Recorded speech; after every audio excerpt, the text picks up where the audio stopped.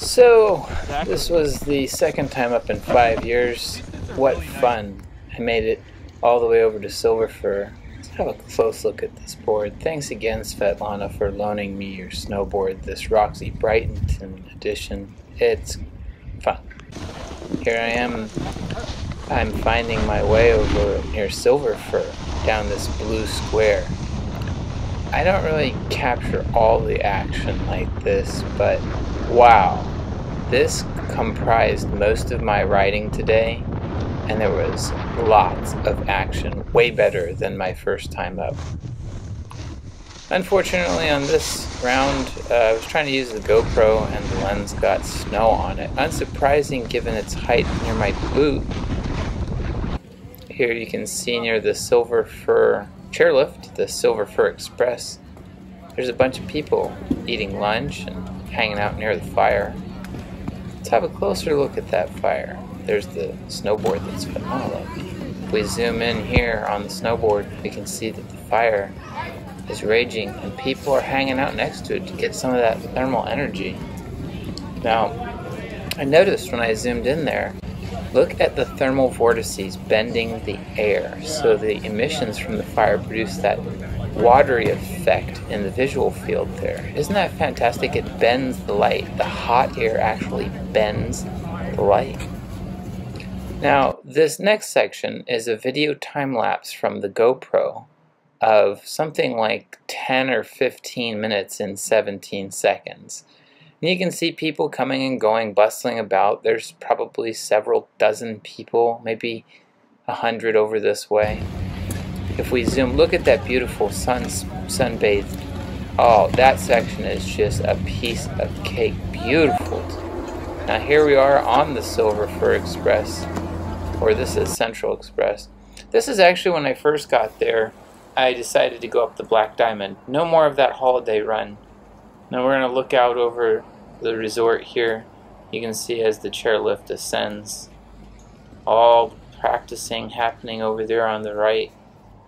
There's tons and tons of people that try the holiday lift.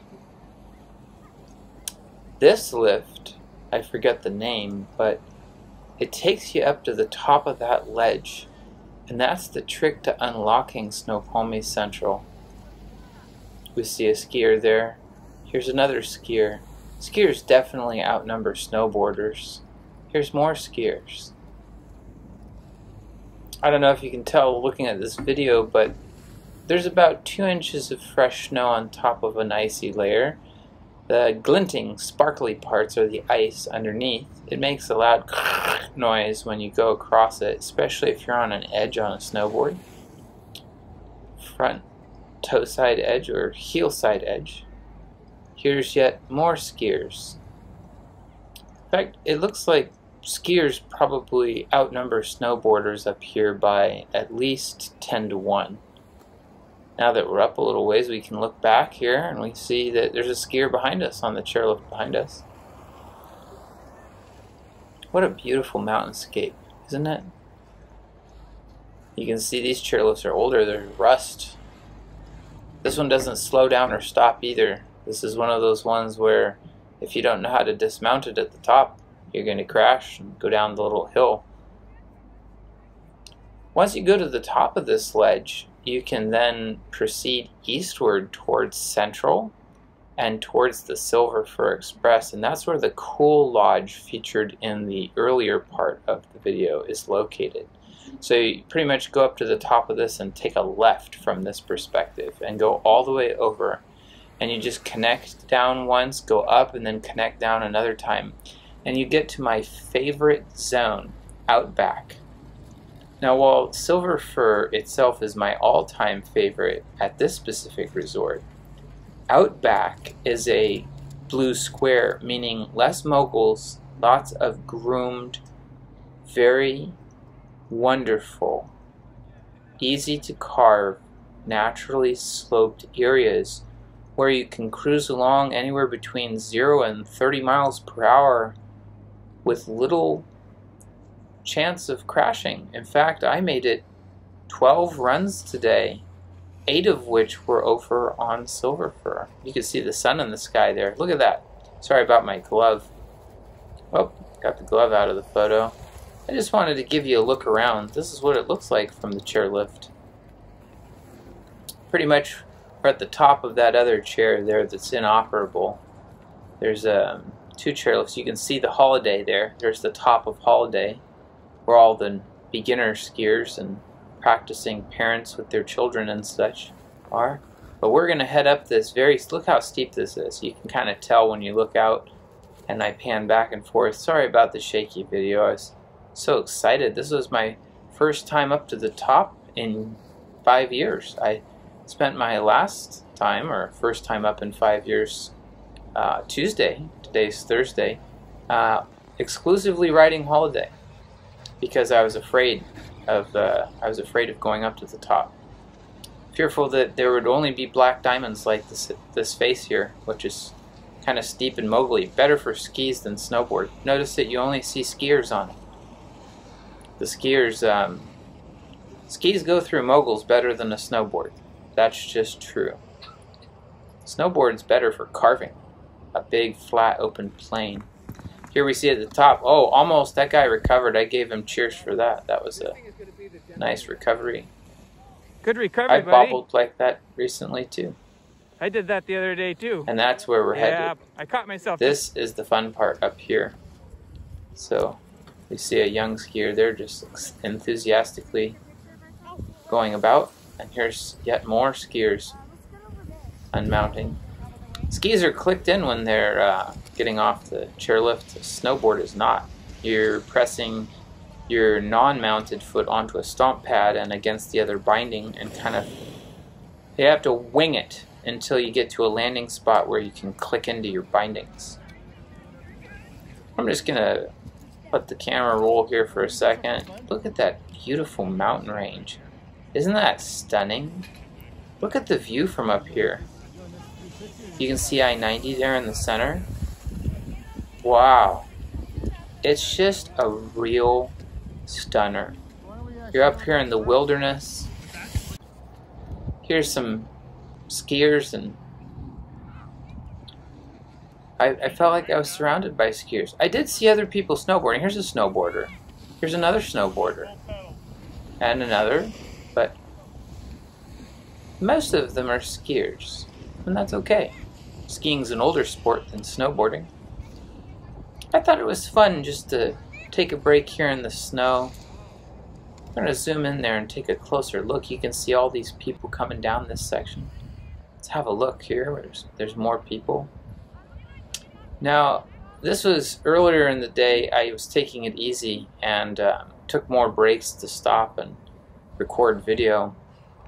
Later, I didn't really capture any video, but man, did I have fun. This was, it took me back to 20 years ago when I was uh, 18 and could go up here and do 20 or 30 runs. Here, I'm going to show you the mechanics of what it's like when you're sitting. There's the board and it makes that scratching noise. That's what you hear when you're on your heel side, like that. And that's your legs. Your legs are going to push like this. You're locked in. Now you'll see you you here I've, I've locked time. in and I'm, I'm about to launch and here I go. And this is the uh, this is the blue square course over near Silverfir called Outback. And uh, the top is a little bit uh, slow at first and then it speeds up and then you get to a kind of a mogully part. But down, halfway down and for the rest of the ride, uh, one, it's a nice long course. I mean, you can cruise along at moderate speeds for like a solid 12 to 15 minutes. And I'm not exaggerating like it's a nice long run. This is way better than the holiday. Um, maybe a little too hard for a beginner but once you get the hang of this snowboarding then you head over to the central and east and, and hang out near the outback and Silverfir and boy, if it's um, if it's machine groomed nicely, uh, you can really zip along. I actually uh, saw a ski patrol dude whipping down here on a snowboard, and I learned a few techniques from him by just watching him. sometimes watching an expert or a master do something can update your technique by just um, repeating what you see. And he switched back and forth between the heel and edge very quickly, which is um, a, a, technique I immediately adopted where uh, you're not loading your calf muscle and your shin muscle continually for long periods of time, and you spend more time uh, kind of balanced in the center. I don't have any great video of that because uh, after capturing about five minutes of video on the GoPro, um, I, I, I, focused more on snowboarding and enjoying myself and less on capturing video. And for that, uh, I apologize. So you can see the, the snow stuck to the front of the GoPro and I'm sure there's a way to prevent this, but um, I left some of these clips in here so you could see just what it's like what it's like to go down the hill. You can see other people going down the hill. Uh, there's enough open visible spot there that I, I chose to include this section. Uh, you can, it's kind of fun actually. It's a nice amorphic, random, very specific unique viewing angle and uh,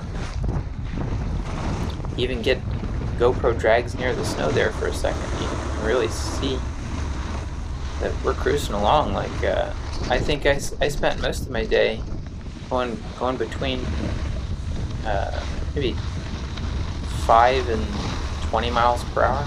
Some of these flatter sections at the bottom are kind of slow. In fact I never stalled out entirely and had to hike but I did have to change my destination a couple of times to catch a different chairlift, especially uh, over near the entrance, because it's, uh, well, it's just, just not as sloped down there. It's a nice gentle slope, so it's hard to, hard to get enough gravitational assist with the hillside to change your destination.